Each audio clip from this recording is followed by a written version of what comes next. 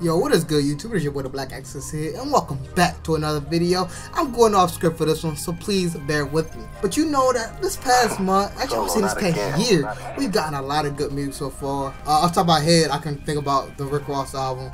Um, yo, Kendrick about to drop a new album. That, that's really hot, yo. That's really hot. The Heart Part 4. If you haven't heard that, go, go check that joint out. But to, you know, today I might be focusing on uh, Drake's More Life, the playlist. I, I want to say the album, but it's, it's, he calls it a playlist, and I guess it's not all just his music. And even the song I'm focusing on in this video is not his own song. It's I want to say his name Sampha. I want to say that right. Uh, I want to say Sampha. I don't know how to really say it, but uh, I'm going to say it like that. The song I'm talking about is 4422. I, that song is just the, the melody, yo, the, the, little beat, yo, his voice with that joint. It, it's fire, bro. And it's it's one of those songs that I don't know what it means. And I watched a couple of videos like on Genius, uh, or they watched the video on Genius. They had a couple of theories on there, and one of the theories that it said on that video was that 44 was the country code for uh, the United Kingdom, or was it Britain, or, or Britain or the United Kingdom, which is where he's in now. And then you have uh, 22 was the country code for Freetown, Sierra Leone, which is where he's from. And so me and my roommate, uh, we, we, we were thinking about that, and we, we thought about, we was just like, you know, that makes a lot of sense, but in context of the lyrics, it's just, there has to be more going on to the song. It just, it couldn't be just that that's where he, you know, that's where he's from, and uh, that's where he is now. Just, it, it, it doesn't make sense with some of the lyrics. Like, so what we thought about, we thought about, yo, it's about a girl. As always, then like, here, let me, let, let me break it down for you. Like, this is our thought process, okay? So I would say most guys they have even married men, people in a relationship now, they're content in their relationship. They love their they love their uh, significant other. Uh, there's one person who would I would I would say for most for most guys make them make them break up or leave just for a chance to be with that other person. And um, you know, some sometimes you know you're you're with that you know one, that one person that that drives you like truly insane. You're with that person that you love um, that you know you, just crush, you know, like have you, you're with that person. So it doesn't matter. Like you, you won. But there are some guys who they never was able to get that person, so they settle. But you know they still got that little tug on that person. You know they, they still want to be with that person, and you know but that person be playing games, man. That person like they drop little hands, they pick it up for you, so you can kind of you can kind of go there and kind of explore the notion, but then it just leads to a dead end. Nothing really happens. You know you you, you know the type of individual that we're talking about, right? And so when we, we, we start looking at the song, we start thinking about it, okay? Let's look some of the lyrics in the chorus, okay? 44, 22. You build it up to break it halfway through. Just make the call, 22. But you're just as the same I ever knew, 44, 22. So, see, let me break it down for you line for line what we thought, okay? 44, 22, the same, okay, where he is, that's where he is, and that's where the girl's in. The girl is from his hometown, Sierra Leone. Uh, you build it up to break it halfway through, and that, that idea is that you know how you know you try to you try to get get this person out of your life. You try to um, you know build up these walls, and you know you're halfway through this wall. You think you're you're gonna make it. You know you think you're gonna finish it. All of a sudden, this person comes back in and just start tearing it back down, and it, it leaves you vulnerable. It leaves you hurt, and so you've been wanting them to make the call. That's 20, you know, 22 is that, that saying is, um, you know, just the girl in Sierra Leone. That's her, 22. So he wants her to make the call. Call him. You know, express emotion. You know, tell me that I'm not doing this, you know, for no reason. Like like he has been this entire time, this entire cycle, you know, since he have known this individual. But it doesn't happen.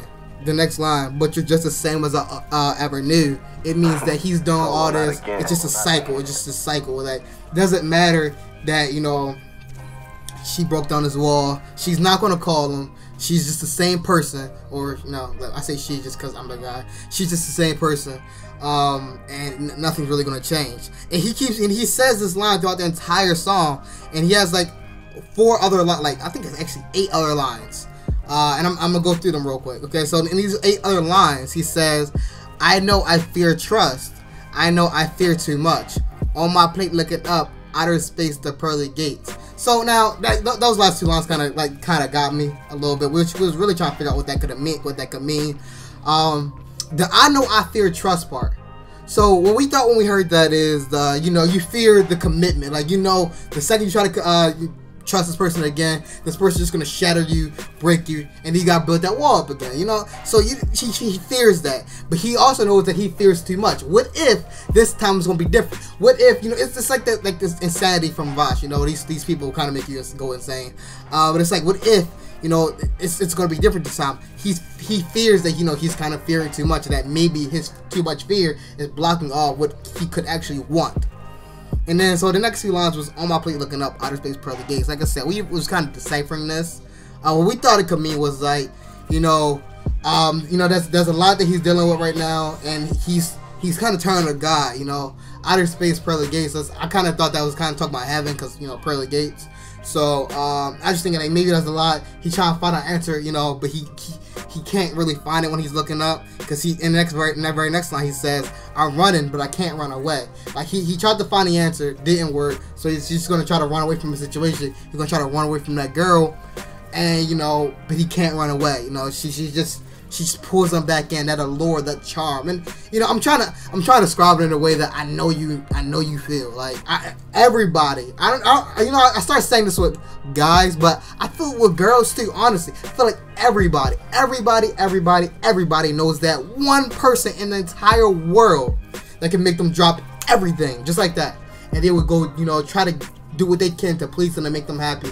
Um you know just just because you know you you, you, you want to connect with that person. That, that person touched you in a way that you know you, you never really connected with anyone else, and you, you, you crave more of that. So in, in, in, a sense, you know that that's really what I just I just get from this. I just I just get that. And the last two last two lines is one of the most powerful things, you know, especially you know to me. Um, you know the you say you change, but you never change up. It, and it goes right back to the beginning with that cycle thing. You know that this person always says that they change, that they're gonna be different, that this time will be different. That you know, and, and it just talks about this this notion of hope. But then he ends the song with that line: "You never change up. It doesn't matter what you say because at the end of the day, you've never changed." Almost like he's reached this point of self-realization that you know nothing he says or nothing you know that she says is going to make anything change for the better, no matter what he wants. You know, so that's just our theory about what it means. Uh, you know, obviously we're not going to know anything until Sampha comes out and calls it himself. So that's what it's about.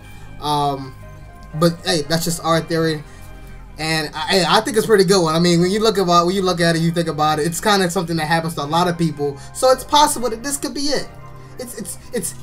I'm not going to sit here and say that you know it's the best theory out there, but out of the ones that I've heard, it makes the most sense. Solo, because if you think about it, I took the one of the ones that made the most sense before because it's actually true. And you can kind of verify it, which was the 44 was you know his um, his home now, and then 22 was when he was born. And you you look at that, it it's nice and all, and it does give you some kind of insight, but it doesn't tell you really anything what anything's about. It doesn't really answer the question of you know what does it mean in context of the song. But this right here, this kind of does. Let me know what your thoughts are about it. Uh, that's just something like, it's kind of like a quick video that's just me and my roommate, because we literally just about this today we listened to the song. It's my personal, personally, my favorite uh, song of the album. I can't say that. It's my personal, personally, I can't speak, god damn it. Personally, it is my favorite song on the playlist. And, I just want to know what it means. This is a theory. Let me know what you think in the comments below. Like, comment, share this video, especially if you agree with it, man. Get this theory out there. I want I want to make this video so viral that like Sampha comes himself and says, "Hey yo, son, you fucking wrong." like I want, yo, that'll be.